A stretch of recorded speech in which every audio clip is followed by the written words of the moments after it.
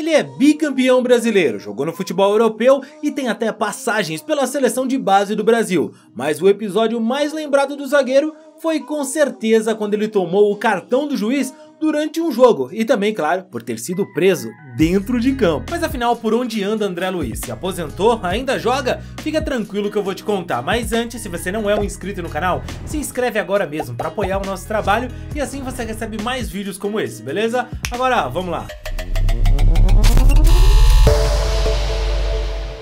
André Luiz Garcia, mais conhecido como André Luiz, nasceu em Bagé, no Rio Grande do Sul, em julho de 1979. O André Luiz foi revelado pelo Guarani de Bagé, mas ele se tornou profissional pelo Santos em 2000 e jogou os Jogos Olímpicos de Sydney em 2000 pela Seleção Brasileira Sub-23. Em 2001, foi emprestado ao Fluminense quando levou o time até as semifinais do Brasileirão. E aí o zagueiro voltou ao Peixe no ano seguinte. Foi campeão brasileiro pelo Santos em 2002, onde foi apelidado juntamente com outro zagueiro santista, o Alex, como as Torres Gêmeas, pois de tão alto somente um avião podia passar por eles. O zagueiro foi novamente campeão brasileiro pelo Peixe em 2004 e depois se transferiu para o Benfica de Portugal no fim do campeonato. A sua passagem no futebol português não foi boa e ele foi emprestado ao Olympique de Marseille, onde também não rendeu e então foi negociado com o Cruzeiro em 2007 e em 2008 ele acertou com o Botafogo. O zagueiro se tornou titular graças aos seus gols boas atuações. Mas com certeza os episódios que mais marcaram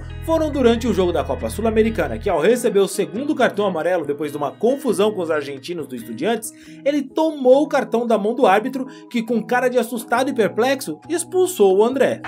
Uma atitude mais que antidesportiva, profissionalmente irresponsável.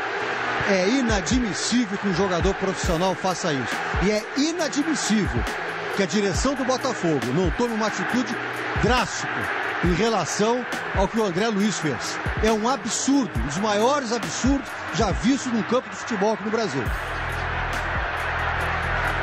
Olha, olha a reação do Xande. O Xande falou, mas meu Deus, o que está acontecendo? Outro episódio foi pelo Campeonato Brasileiro. Ele acabou indo parar na delegacia depois de ser expulso e mostrar o dedo do meio para a torcida do time adversário. O André devia se retirar do banco de reserva para onde ele foi após a expulsão, algo que a regra não permite. E se um policial que tentou tirar ele dali acabou alegando que ele se negou e desacatou a autoridade. Por isso, o André foi detido depois de muita confusão e o jogo paralisado. Mas acabou se livrando de arrumar problema maior ao se comprometer a doar 25 salários mínimos ao Hospital do Câncer de Recife, já que a partida e o problema que ele arrumou foi lá no Pernambuco contra o Náutico. O André, depois que deixou o Botafogo, jogou ainda por São Paulo, Fluminense, Portuguesa e muitos outros times menores. O André Luiz hoje está aposentado, ele tem 43 anos e o último clube que ele jogou foi o Concórdia de Santa Catarina em 2019. O zagueiro recentemente ganhou uma causa milionária na justiça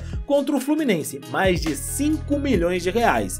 O nosso zagueiro juiz era muito bom jogador e por mais que às vezes ele perdesse um pouco a cabeça, a verdade é que o André jogou muita bola. Mas e você, se lembra do André Luiz? Ele teria vaga no seu time hoje? Deixa aqui nos comentários e não esquece também do like no vídeo. Quanto a mim, você já sabe, né? Fico por aqui, a gente se vê no próximo vídeo, valeu e tchau, tchau!